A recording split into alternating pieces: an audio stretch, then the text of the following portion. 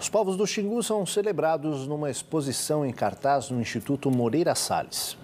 São arquivos audiovisuais, como fotografias e filmes, feitos desde o século XIX por cientistas, fotógrafos e pelos próprios indígenas.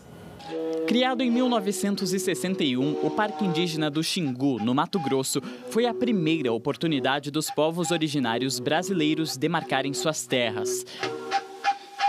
Agora, 61 anos depois, eles demarcam também as telas na maior cidade do país.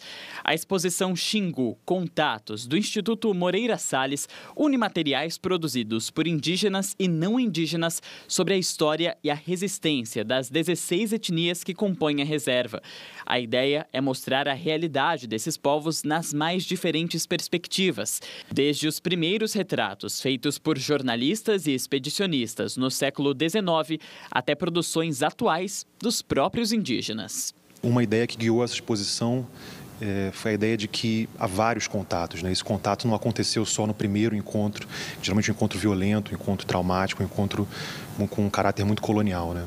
Há várias possibilidades de contato entre os povos indígenas e os não indígenas, e uma delas é o audiovisual. No total, são mais de 200 itens, entre fotografias, documentos, filmes e curtas.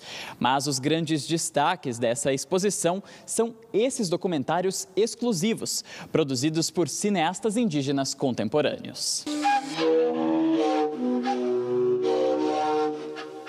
Hoje em dia, nós indígenas, cada vez mais protagonistas da própria nossa história. Por isso é importante, próprios indígenas, artistas indígenas, ativistas indígenas, para que nós podemos trazer essa imagem de audiovisual, além do, do, fotografia, a gente mostrar essa importância de audiovisual, importância de fotografia fora da nossa comunidade. A exposição também faz referência às lideranças indígenas do passado e do presente.